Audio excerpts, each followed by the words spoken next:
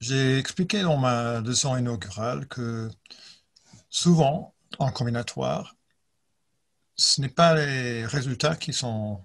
importants, même si c'est possible, euh, et plutôt les techniques, les idées, les, méthodes qu'on utilise pour euh, les prouver. Donc c'est pour cette raison que j'ai voulu souligner cet aspect de la combinatoire, et c'est pour cette raison que j'ai décidé d'appeler ce cours outil de la combinatoire et pas euh, certains résultats dans la combinatoire.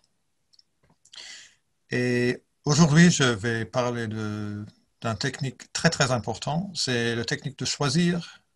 quelque chose qu'on cherche au hasard